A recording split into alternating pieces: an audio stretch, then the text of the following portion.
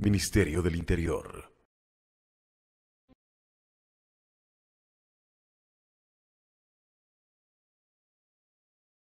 Estos cursos se realizan a la ciudadanía ya que nos permiten tener un acercamiento y a la vez fortalecer la unión entre la comunidad y la institución policial.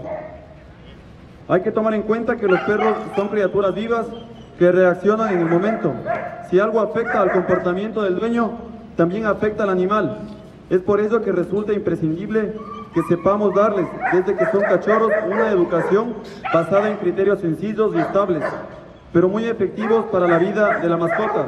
Yo tengo un Pitbull American Stanford y aunque su actitud es pacífica y es tranquilo, no está de más de que él reciba un poco de adiestramiento para regular un poco más un comportamiento en lo que es casa con respecto a la sociabilización de personas y para que se lleve bien con otro tipo de, de canes. Me parece fenomenal, la verdad muy interesante y muy importante que la comunidad se, se, se vincule para que los tengamos los animalitos eh, realmente como deben ser.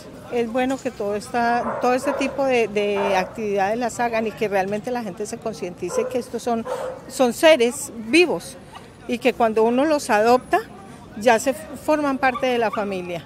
Son, son muy lindos, ellos son muy tiernos, hay que quererlos, hay que amarlos y hay que cuidarlos. Nosotros como Policía Nacional, nuestro objetivo es darles la mayor garantía a ustedes.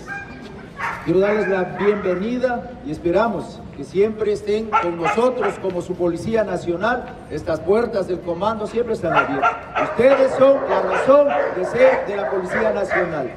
Un aplauso y dejo inaugurado el presente seminario. Gracias.